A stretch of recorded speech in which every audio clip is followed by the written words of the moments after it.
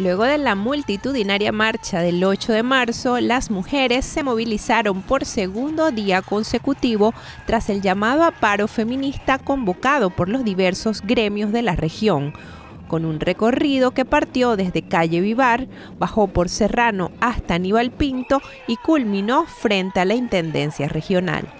El motivo de esta manifestación es conmemorar el Día eh, Internacional de las Mujeres Trabajadoras y visibilizar nuestras demandas también como, como trabajadoras, visibilizar la precarización laboral, las brechas salariales y sobre todo lo que nos aqueja como región, que es eh, los acosos sexuales en los espacios laborales, como acá en la Intendencia, y exigimos ahí justicia, fiscalización y reparación a las chicas que fueron víctimas acá de la Intendencia, que el Intendente se haga cargo políticamente. La convocatoria del domingo fue histórica.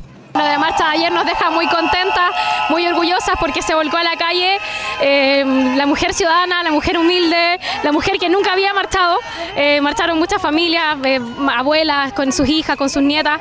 Entonces creemos que fue un gran logro en términos de numéricos. Todavía no, no calculamos cuántas mujeres lograron llegar y felices y seguir trabajando en esa dirección. Las manifestantes criticaron el hecho de que se haya homenajeado a la Seremi de la Mujer, Milka Pardo, durante los actos del 8 de marzo es bastante molesto porque la, la Ceremi acá de la regional no se ha hecho parte de los casos de mm, abusos sexuales a las mujeres que han sido detenidas en el contexto de manifestaciones y no se ha pronunciado tampoco en el caso de acá del, de abuso sexual en la Intendencia. Ella ha mantenido un silencio cómplice con todas las formas de violencia que nos aquejan a nosotras las mujeres.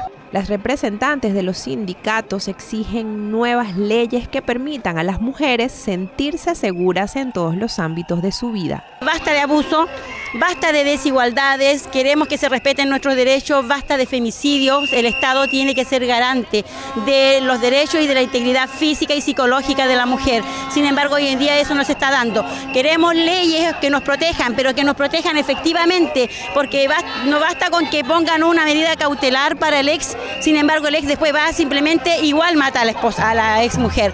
No queremos eso, queremos leyes que efectivamente nos protejan y que podamos sentirnos seguras como mujer en un movimiento que quiere cambios radicales en nuestro país hacia la mujer, como una educación eh, no sexista, eh, como también participación ciudadana y política. Entonces todas esas cosas es la que nos, motiva a nosotros, a, a, las mujeres, a estar en las calles. Ya no podemos seguir permitiendo todos los abusos que se realizan hacia nosotras.